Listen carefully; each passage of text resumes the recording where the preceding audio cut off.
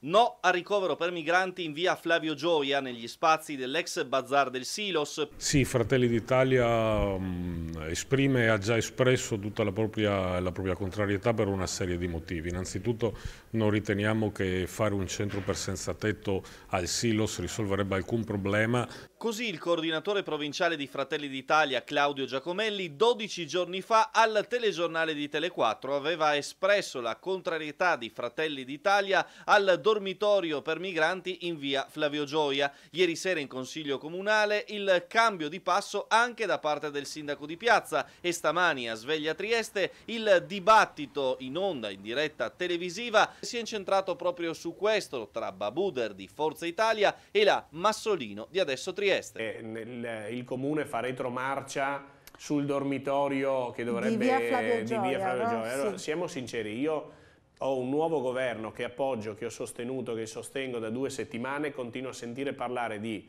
Pozzallo, Lampedusa, Pozzallo, Lampedusa.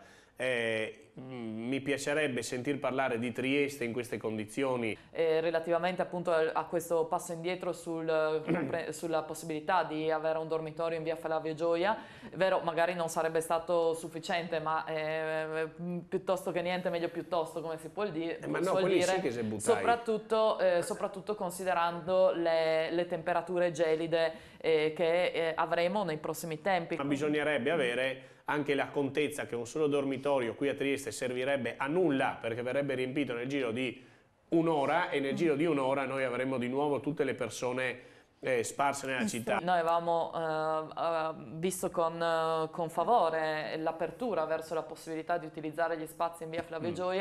Questo passo indietro eh, ci, ci, ci, rammarica molto e riteniamo anche che sia relativo al diktat di, di Fratelli d'Italia che eh, si è appunto dichiarata contraria più che a delle effettive, a, a delle effettive difficoltà eh, tecniche, riteniamo che sia, sia, sbagliato questo passo indietro e che invece andrebbe trovata più presto una soluzione